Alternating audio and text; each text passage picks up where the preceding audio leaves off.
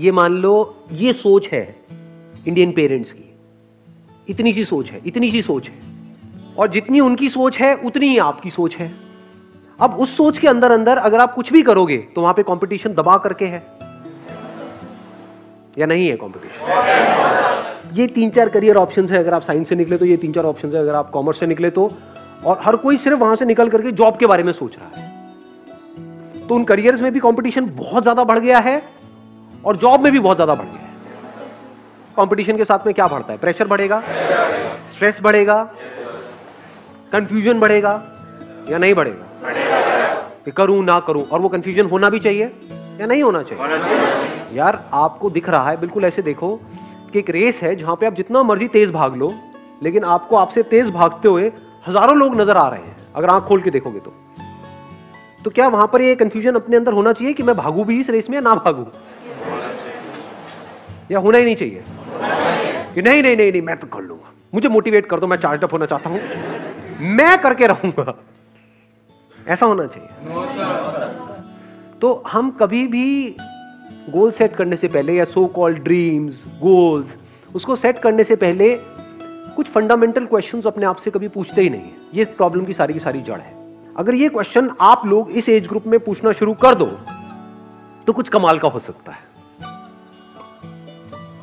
ध्यान से समझना, हम कहते हैं, उसकी लाइफ अच्छी है, उसकी लाइफ बुरी है। On the basis of what कहानी तो है क्या आपकी लाइफ एक कहानी नहीं है, एक स्टोरी नहीं है? तो कैसी कहानियाँ देखने में आपको मज़ा आता है?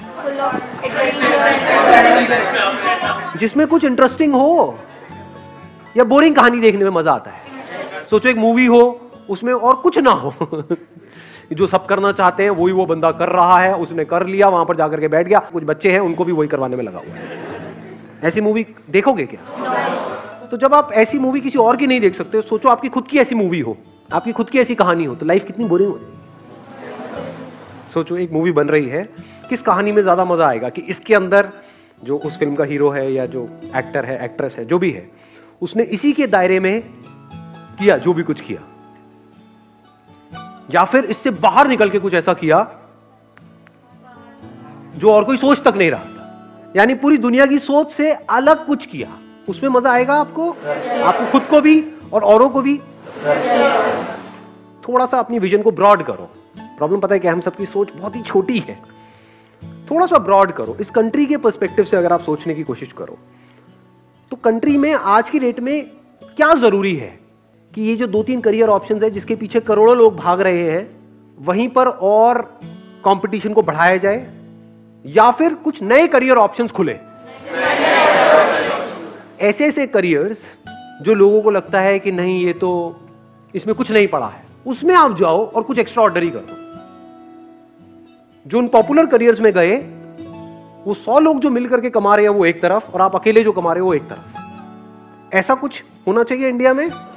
ताकि उसको देख करके वहाँ पर हज़ारों लाखों लोग आए। तो यहाँ से कंपटीशन कम होगा। नए नए ऑप्शंस खुलेंगे। ये बातें समझ आती है। कुछ होंगे जो यहाँ पर उनको प्रॉब्लम नज़र आ रही होगी, जिनका दिमाग बंद होगा।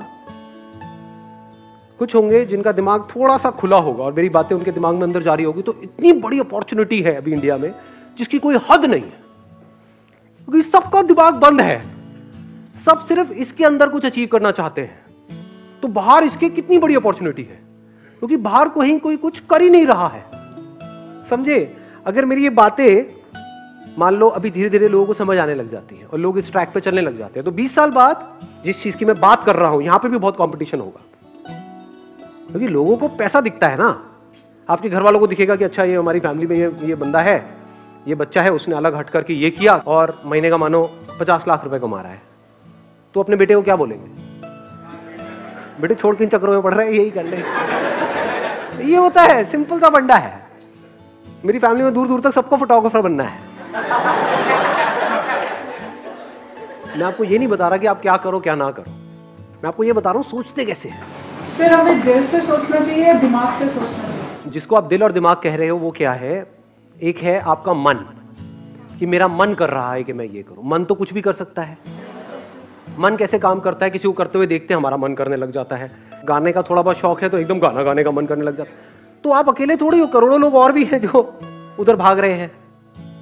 दो अलग अलग चीज़ें हैं, एक है पैशन एक है प्रोफेशन प्रोफेशन उसको बनाना चाहिए जिसमें डिमांड बहुत ज़्यादा हो, आपकी जो स्किल है उसकी, और सप्लाई बहुत कम हो। तो वहाँ पर आपका फ्यूचर ब्राइट है। आप बहुत आगे जा सकते हो मतलब अब अपर लिमिट खत्म हो चुकी है। नहीं तो आपकी अपर लिमिट कोई और बैठ करके तय करेगा। उसके हाथ में है कि आपको कितना मिलना चाहिए। यहाँ पर आप खुद तय करोगे। तो प्रोफेशन हमेशा ऐसा होना चाहिए। ज़रूरी थोड़ी अपने पैशन को भी प्रोफेशन बनाना है। मुझे नाचने का शौक है तो मैं नाचने से पैसा कमाऊँगा। वो एक अलग टॉपिक है। ये दो अलग अलग चीज़ें हैं। इसको मिक्स कर देते हैं, इसलिए हम फंस जाते हैं।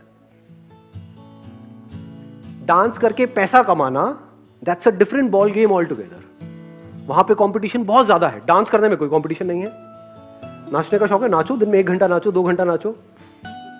काम करना है, कोई ऐसा काम करो जिसमें आपका इंटरेस्ट भी हो। ऐसा ना हो कि बिल्कुल ही नफरत है आपको उस काम से। वहाँ पे आपको कुछ नज़र आ रहा हो और फिर उसके ऊपर काम करो। अगर इस तरह से आप लाइफ में चलते हो छोटे छोटे स्टेप्स उठाते हो तो वहाँ पर फेल होना इम्पॉसिबल है। पता नहीं क्या क्या किया जा सकता है। बस दिमाग खुलने की देर है। आपको गैप्स ढूँढने हैं और आपको उसको अपने इंटरेस्ट से कनेक्ट कर देना है। आपको देखना है इस दुनिया में क्या क्या गैप्स हैं, क्या ज़रूरत है। अपनी ज़रूरत के लिए जियोगे मैं इसको समअप कर रहा हूँ इस सेशन को, खत्म कर रहा हूँ इस इस पॉइंट के ऊपर। अपनी ज़रूरत के हिसाब से अगर जियोगे तो आपकी जो ज़िंदगी है, उसकी डोर किसी और के हाथ में होगी। वो आपकी जरूरतें पूरी करेंगे और आपको कठपुतली की तरह नचाते रहेंगे ज़िंदगी भर। अगर इस दुनिया की ज़रूरत के हिसाब से जियोगे, अपनी ज़रूरत को भूल जाओ। दुनिया में देखो, किस काम की ज़रूरत है। उसको आप पूरा करो और इस तरीके से पूरा करो जो और कोई नहीं कर रहा है। तो ये पूरी दुनिया आप पे डिपेंड हो जाएगी। तब आपकी ज़िंदगी की डोर पूरी तरह से आपके हाथ में अजीब अजीब सी चीज़ें दिमाग में बिठा दी हैं, आपके दिमाग में ना घुसा दी हैं। तो आप वो नहीं कर पा रहे जो आप कर सकते हो, जो आप करना चाहते हो। आप सिर्फ़ वही करते हो जो दुनिया करवाना चाहती है। यही आपकी प्रॉब्लम है। इसलिए आप कुछ क्रिएटिव नहीं कर पा रहे हो। कुछ अलग नहीं कर पा रहे हो। दिमाग में क्या बिठा दिया है? एक स्कूल चल रहा है। मान लो, अब आप बताना, मैं सही कह रहा हूँ, गलत कह रहा हूँ। स्कूल में जो टॉप पे है, या जो सबसे इंपॉर्टेंट आदमी है, वो कौन है? प्रिंसिपल उसके बाद में कौन है? टीचर्स और वहाँ पर जो लोग स्कूल का टॉयलेट साफ़ करते हैं वो लोग? वो इंपॉर्टेंट नहीं है? वो अपना काम अगर ना करे ढंग से, क्या हालत होगी स्कूल की? कितना गंद मचेगा? सोचो, पूरी अगर टॉयलेट गंदी पड़ी रहे और आप वहाँ पर जा रहे हो, उन्हीं गंदे जूतों के साथ में क्लास में आ रहे हो पूरी क्लास में स्मेल है, पूरे स्कूल में स्मेल है, बुरा हाल हुआ पड़ा है तो कौन ज़्यादा इंपॉर्टेंट है? इसको ध्यान से समझना जो चीज़ मैं बोल रहा हूँ। It is very very deep अगर पकड़ में आई तो आप अपनी कंडीशनिंग को तोड़ सकते हो, नहीं तो नहीं तोड़ पाओगे कभी भी। कौन ज़्यादा इंपॉर्टेंट है स्कूल के लिए? वो बंदा जो टॉयलेट को साफ़ कर रहा है या प्रिंसिपल दोनों इंपॉर्टेंट है। एग्जैक्टली दोनों इंपॉर्टेंट है। दोनों अपना अपना काम अगर ढंग से करेंगे तभी वो स्कूल ढंग से चलेगा। नहीं तो स्कूल में गंद मच जाएगा। लेकिन दिमाग कैसा बना दिया आप लोगों का कि ये जो काम है ना ये छोटा है और ये जो काम है ये बड़ा है। तो आपको बड़ा काम करना है। आपको भी प्रिंसिपल बनना है अगर बनना है तो। पहले टीचर बनना है। टीचर के मतलब आपके लिए पहले एक स्ट्रक्चर खड़ा कर दिया गया है। आपके माइंड के लिए। उसके बाहर आप सोच ही नहीं पा रहे हो। आप में से कोई सोचेगा कि मेरे को जितने भी स्कूल है, उसके टॉयलेट साफ़ करने हैं। आया कभी किसी के दिमाग में? ये इंटरेस्ट आया? क्यों नहीं आया? ये ज़रूर आया होगा कि मेरे को प्रोफेसर बनना है। और फिर प्रोफेसर बनने के बाद में मैं बड़ा मेहनत करूँगा, फिर मेरे को प्रिंसिपल बनना है। ये सब खच्चरों की रेस है। अगर जेन्युइनली लाइफ में कोई ढंका करना है तो इससे पहले आपको बाहर आना पड़ेगा। उसका तरीका क्या है? हो सकता है आपके अंदर से आ रहा हो मुझे टॉयलेट साफ़ करने हैं।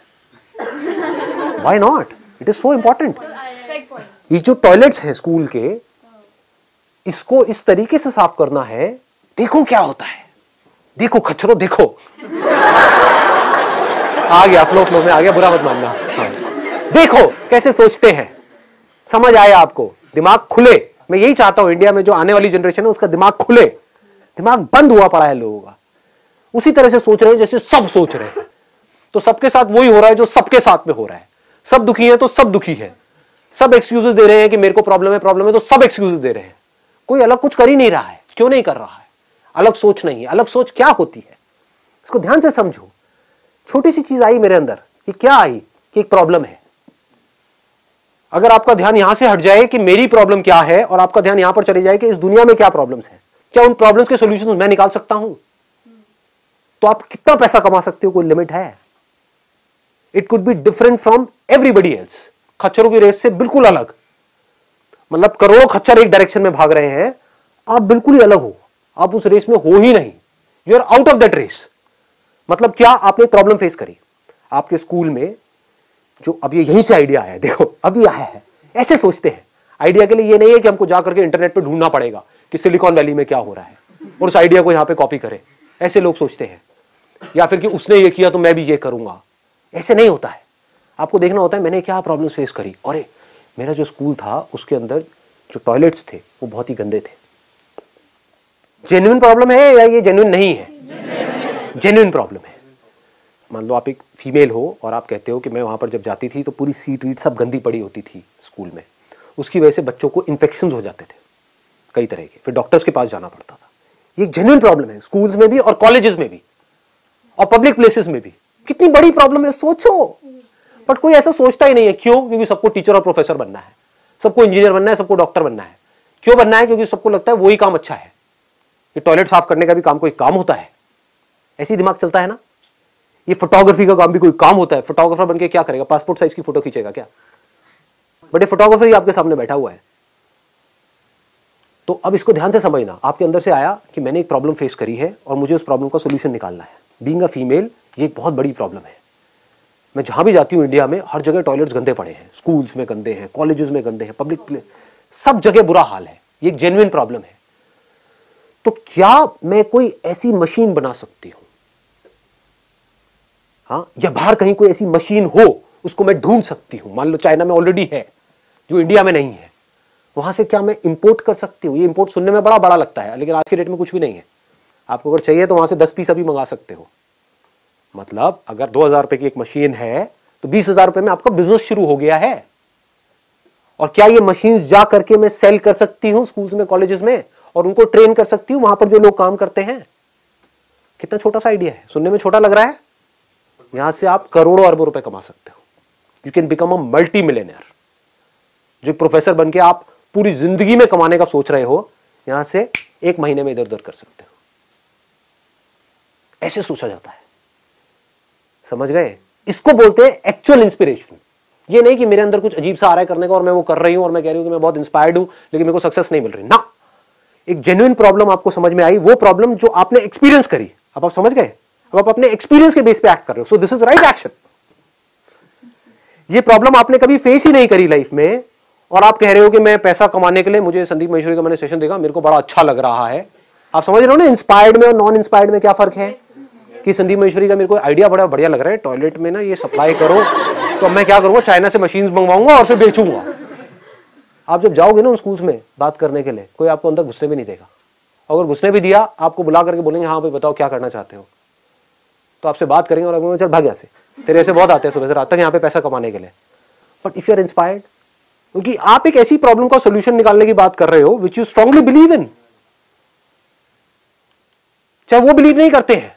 हो सकता है वो जो सामने बंदे बैठे हैं, जो मैनेजमेंट बैठा है स्कूल का, वो बिलीव नहीं करता है, वो कहता है, क्या फ़र्क पड़ता है? टॉयलेट साफ़ हो तो रहा है। क्या ज़रूरत है इस मशीन की हमको?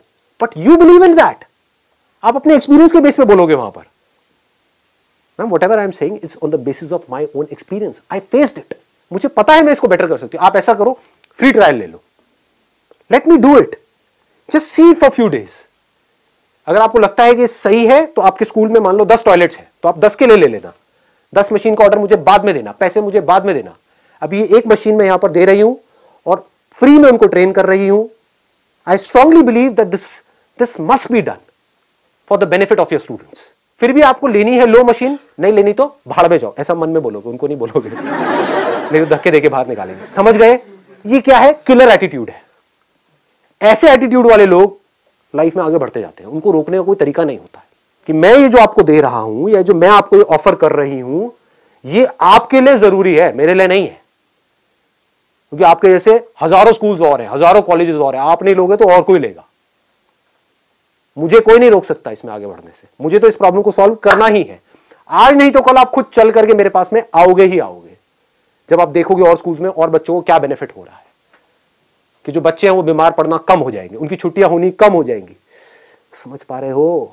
हम्म yes, उसकी वजह से आपके जो स्कूल है उसकी ओवरऑल परसेंटेज इंप्रूव होगी। This is what they want उनकी हेल्थ अच्छी होगी। इसमें आपका जा क्या रहा है? कुछ भी नहीं है। सपोजिंगली आपने 2000 की वो मशीन बाहर से मंगवाई है। आप कह रहे हो कुछ भी नहीं है। पाँच हज़ार रुपए की मशीन है। स्कूल के लिए क्या है? पाँच पाँच हज़ार रुपए तो फ़ीस है आज की डेट में स्कूल की। समझ गए? तो एक स्कूल में अगर आपने पाँच पाँच हज़ार की दस मशीन भी दी तो पचास हज़ार रुपए आपके पास में एक स्कूल से आया। इंडिया के अंदर हज़ारों स्कूल हैं और हज़ारों कॉलेजेस हैं। लाओ दिमाग कितना कमा सकते हो। ऐसे सोचते हैं बट ये कब कमा पाओगे, ये नहीं कि मेरी वीडियो को देखा और कमाने निकल गए। बाहर कर देंगे खच्चरों को। समझे कौन लोग लाइफ में आगे बढ़ते हैं? वो जो अंदर से इंस्पायर्ड है, जो चार्ज है। समझ पा रहे हो? सपोजिंगली आप एक स्कूल के प्रिंसिपल हो और आपके सामने कोई ऐसी कोई पर्सन बैठी हुई है who strongly believe in it तो आपका जो बिलीफ है आपका जो कन्विक्शन है, आपका जो कॉन्फिडेंस है दैट बिकम्स इन्फेक्शियस वो भी इन्फेक्टेड हो जाएगा प्रिंसिपल वो नहीं बिलीव करता है उसके अंदर. बट आपकी एनर्जी देख करके वो एनर्जी उसके अंदर चली जाएगी. जैसे आपने नोट किया होगा कि किसी ऐसे इंसान से मिलते हो जो बहुत ज़्यादा एक्साइटेड है किसी चीज़ को लेकर के. आप भी एक्साइटेड हो जाते हो. हाँ मैं बैठा हूँ आपके सामने. तो उसकी भी सोच आपकी डायरेक्शन में चल पड़ेगी. वो प्रिंसिपल क्या कहेगा या क्या कहेगी? आप कर लो. जो करना है. जो आपको ठीक लगता है, कर लो. कोई बात नहीं. समझ गए? ऐसे सोचा जाता